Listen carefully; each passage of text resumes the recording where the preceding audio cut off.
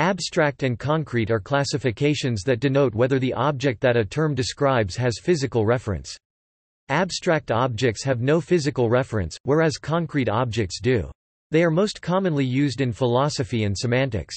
Abstract objects are sometimes called abstracta sing, abstractum and concrete objects are sometimes called concreta sing, concretum. An abstract object is an object that does not exist at any particular time or place, but rather exists as a type of thing i.e., an idea, or abstraction.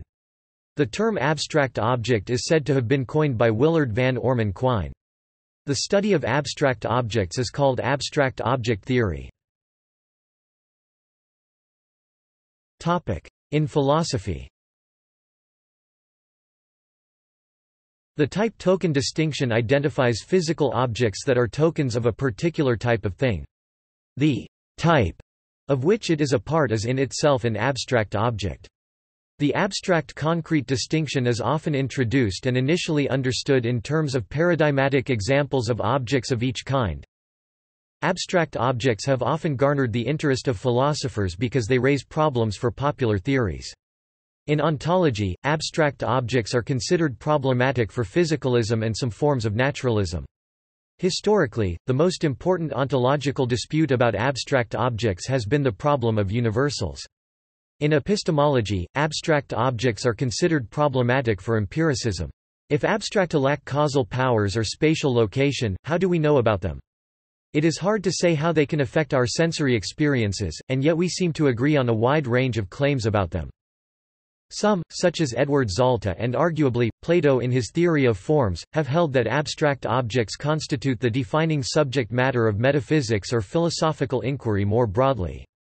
To the extent that philosophy is independent of empirical research, and to the extent that empirical questions do not inform questions about abstracta, philosophy would seem especially suited to answering these latter questions.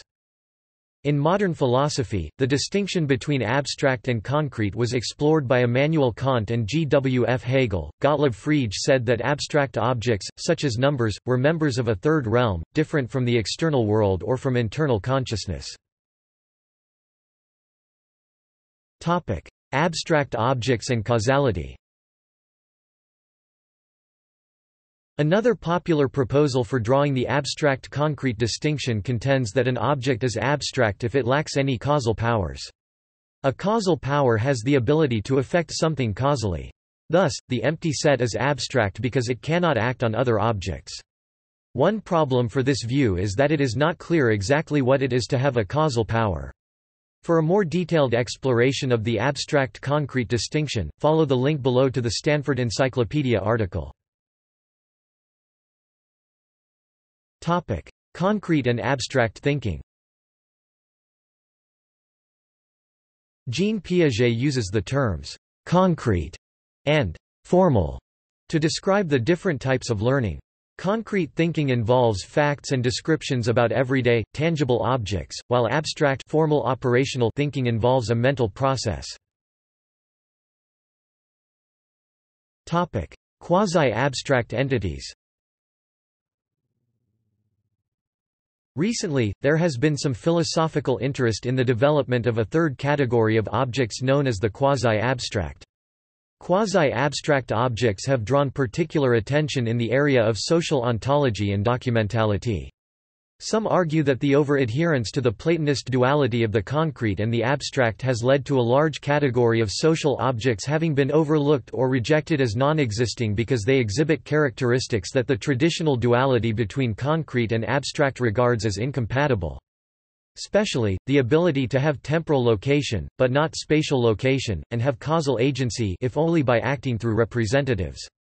These characteristics are exhibited by a number of social objects, including states of the international legal system. See also. References. External links. Abstract and concrete at Philpapers Nominalism, Realism, Conceptualism, from the Catholic Encyclopedia. Abstract versus Concrete in Writing, from Writing for Results